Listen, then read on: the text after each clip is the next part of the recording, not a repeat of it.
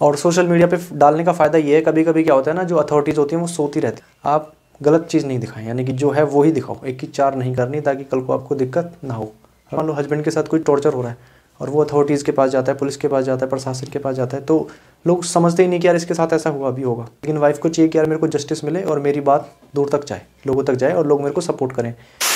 All right ladies and gentleman तो आज हम बात करेंगे कि कोई भी वाइफ या हस्बैंड अपनी आप बीती सोशल मीडिया पे डाल सकता है या नहीं।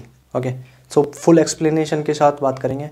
तो यार देखो, पहला होता है एक आर्टिकल 19 क्लॉज वन उसमें बोलते हैं freedom of speech and expression यानी कि आपका फंडामेंटल राइट है। फंडामेंटल वो राइट right होता है कि अगर आपका वो वॉयलेट होता है तो आप डायरेक्ट सुप्रीम कोर्ट या हाई कोर्ट जा सकते हो। बस इन द टेंथ में ये समझ लो। अब मुद्दा समझ लो, मुद्दा ये कि कभी कभी क्या होता है ना कि किसी हस्बैंड के साथ या वाइफ के साथ मतलब घर में इतनी दिक्कत होती है, वो अथॉरिटीज़ का सहारा लेते हैं। पर उन्हें लगता है कि यार, बड़ा टाइम लग रहा है, बड़ा, बहुत टाइम लग रहा है। तो आज का टाइम जो है ना सोशल मीडिया का है। तो आप सोशल मीडिया पर डाल के भी आपने आपको जस्टिस दिलवा सकते हो। पर इसके लिए ना कंडीशन है। कंडीशन ये कि देखो, आपके साथ जो हुआ होगा ना, वो ही डालना।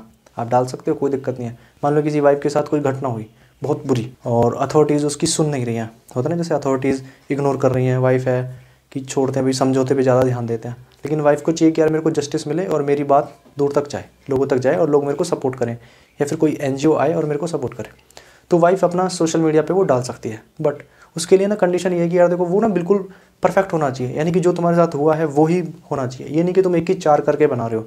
क्योंकि कल को अगर आप मान लो गलत वो करोगे तो आपके ऊपर भी डिफेम का केस होने के चांसेस बढ़ जाते हैं।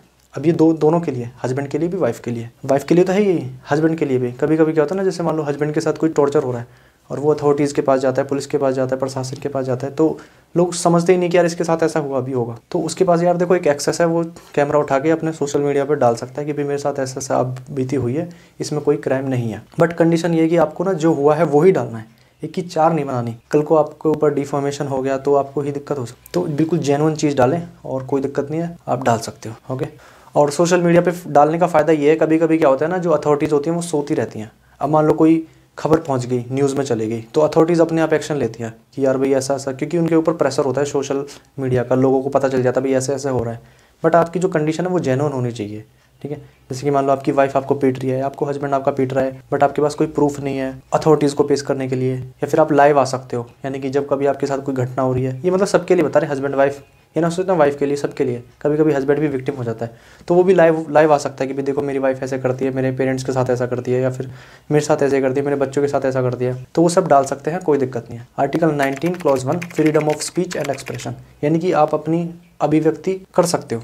अपना जो आपके विचार हैं, आपके साथ जो भी है, वो दिखा सकते हो, वो आप कर सकते हो पब्लिश ठीक है? बट ये है कि आप गलत चीज़ नहीं दिखाएँ। यानी कि जो है, वो ही दिखाओ। एक ही चार नहीं करनी ताकि कल को आपको दिक्कत ना हो। Okay, so I hope it is clear. Chill, man, chill.